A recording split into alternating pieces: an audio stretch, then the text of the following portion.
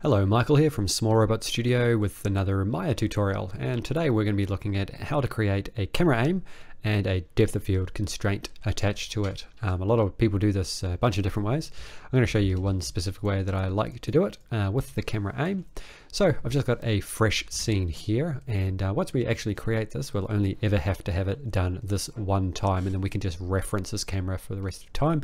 So once we create it you never have to do it again. So we're going to go to create camera and we're going to do camera and aim and select that. And once that's in the scene, um, we're going to also need to drop in a uh, measure tool. So I'm going to switch to my side view and I'm going to go to create, measure tool and distance tool. And to do this, I'm going to hold down the X key and this is going to snap it to the grid. So it's going to snap to the world center to begin with and the camera's uh, sensor plate or its virtual sensor um, plane uh, is on the world center. So I'm going to hold down X, click and drag it there. It's going to uh, drop in the first locator there and then I'm going to hold down X again and click and drag here a little bit and it's going to put it over there for the second locator and you'll see that has got this numerical value here, which is the amount of units uh, of distance it is away from uh, these two locators are away from each other. And hey, make sure you're subscribed with notifications on, otherwise you may be missing out on the many tutorials that we're releasing for free each week here on YouTube. And once your two nodes are in the scene, like so, the second one, we actually want to make sure that this is snapped to the aim constraint. So we're going to select it, go to the move tool, and we're going to hold down the V key and we're just going to move that along there and it's going to snap automatically while you're holding the V, V for vector, and it will hold, snap to that camera aim constraint right there.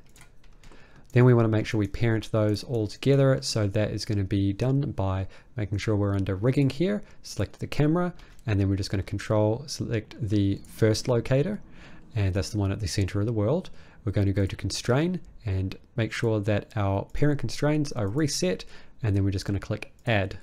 Then we're going to select the uh, aim locator and we can select the control select the locator too and then we're going to click constrain and parent and that will do that as well. Then these two here we can hide because we don't need to see them because now we're going to use this to move the aim and you can see that that changes the numerical value of the distance draw now. So if we can just move that to wherever we would like. Now we want to make sure that this number here, this number 4, is being fed into the depth of field focal distance, which is currently 5. So obviously there's a disparity there. So we want to go into the node editor, which we're going to go to Window, Node Editor, and I'm going to clear the scene here. I'm going to select the camera in the outliner, click this icon here, which has got the little plus button, and then this camera one here, we do not want this. We want camera shape. That's the shape node.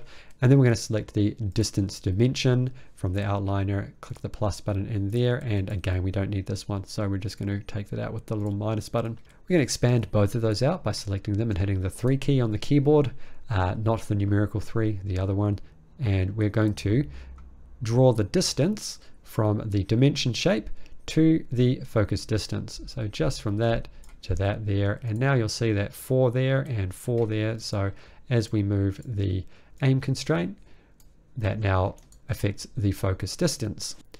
So this is excellent. We've got this set up.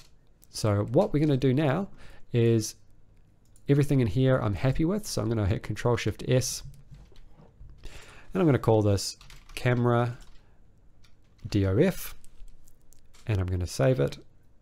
Um, you can do it as a uh, binary or an ASCII. I think binary is fine.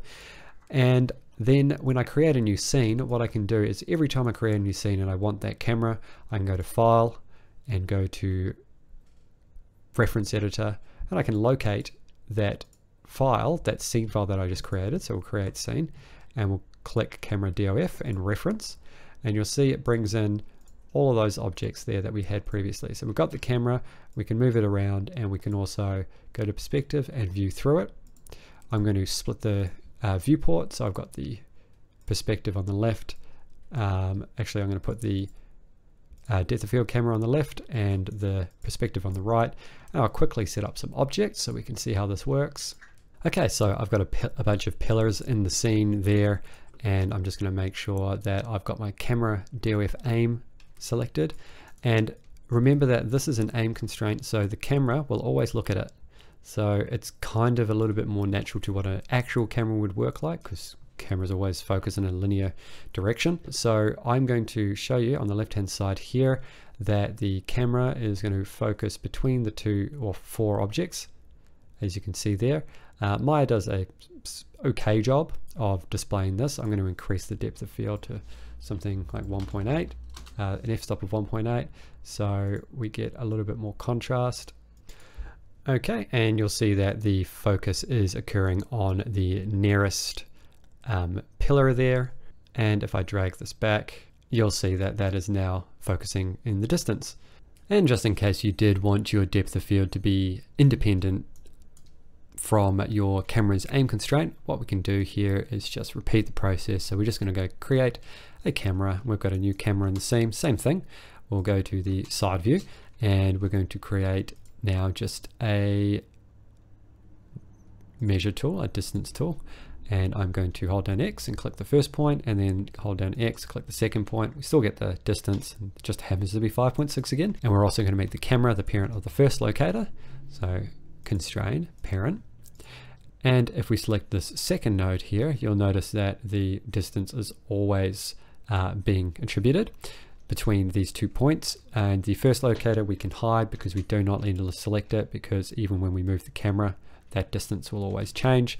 We can just change the second locator to be called DOF so we know that that is the DOF and we can also if you're having trouble seeing it in the scene you can select it under the attribute editor. You can go to DOF and you can go to uh, drawing overrides enable overrides and we can change the color of it to be a different color before it's selected. So you can make it pink and it's very easy to see. So, and then it'll just be the, a matter of uh, going back into the Windows node editor and we'll clean up the scene and then we will select the camera first, pop that in there and we'll remove the one that we don't want. And then we're just going to select the distance dimension shape, put that in there. And again, we'll just minus the one out that we don't want expand them both out with 3 and distance will go into focus distance. And now those are bound together. So now whatever this number is it's currently uh, 12.3 this should be 12.33 there you go 12.335 it's rounding up 12.336 which is, should be meaningless in terms of scale. So again you can just save your reference out. Now the only problem with having the focal distance locator disconnected from the aim constraint, uh, so to have it free uh, moving, is that if you are not moving it um, relative, so perpendicular to the camera where it's pointing. So for example, when I'm doing this, it's fine. You can see it switched between the focus of everything along this um, plane here. But if I focus on this front pillar and then move this to the left, because the number on the camera uh, on the distance is increasing, so 21.7, um, it is actually changing the focal distance to be a lot higher than what it should be. It should actually be 5.4. So if you are using this method and you're pointing the camera around and you're like, okay, this is where I want to be, and I want to focus on this back pillar here, you need to ensure that you get your aim, uh, your depth of field node to be relatively perpendicular to the camera. If you're looking at narrow depths of field, so very sort of um, macro photography, emulation, that sort of thing, an aim constraint might be better for, uh, sorry, a look constraint, a camera and look constraint might be better for accuracy. Uh, but this this method works nine times out of ten and you can sort of eyeball it um, in terms of getting it lined up. Because you've got a little bit of play with depth of field and, and the amount of area that's in focus then usually this is fine that's it for this tutorial. If you found it useful, make sure you leave a like so other people can find it. And if you haven't already, make sure you subscribe as we're bringing out CG and illustration tutorials every week, just like this one. Become a patron and access tutorial assets, bonus content, a private Discord, and more by clicking the link below.